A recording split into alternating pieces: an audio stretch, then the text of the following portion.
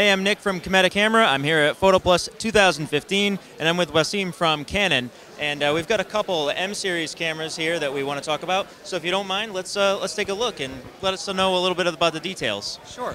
Um, so we just announced our uh, newest entry into the M family last week. Uh, that is the EOS M10.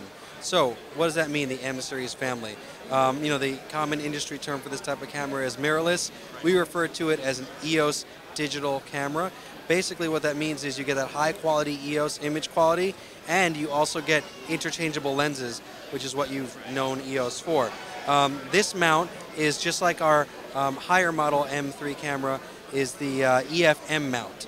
Um, and so you can put EFM lenses on it and with an adapter you can put EFS and EF lenses, all of your regular Canon glass right on this camera. Um, and so that's another big feature too.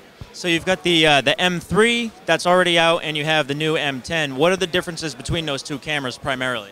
Okay, um, the M3 is aimed at the advanced amateur. Maybe you're already an EOS camera user and you're looking for a second camera, and it will be very, very similar to the high-end EOS experience. This camera over here is really aimed at the person just getting into photography. Maybe they're upgrading from a smartphone. And the way I, I show the difference, I can show you the differences here, is if you look on the M3, you've got a mode dial, you've got an exposure compensation dial, and these kinds of things could be a little intimidating to a new user. So on this one, it's primarily touchscreen driven. Um, you've still got the one control dial, whereas the M3 has the wheel on the back as well, but you can change the settings manually through here, um, through the touchscreen that flips up like this. Um, we also try to make it a little bit easier. We added a creative assist mode that you can, uh, simple terms, like instead of aperture, it'll say background blur, and you can adjust that, and it's actually adjusting the aperture. But if you wanted to, it's still got raw and full manuals. You just use it through the touchscreen, and it's all there. And so this is really geared at that, that entry-level user. So, uh, I mean, basically, the, the lenses themselves are the, uh, the EOS M mount.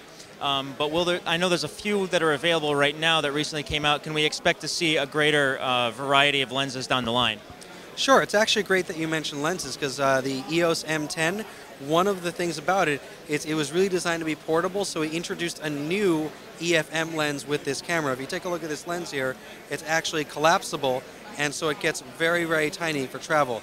This is a 15 to 45 uh, millimeter lens, and so it's uh, a little bit wider, uh, not as much telephoto as the usual kit lens, which is on the M3, which is not here, uh, which is uh, 18 to 55.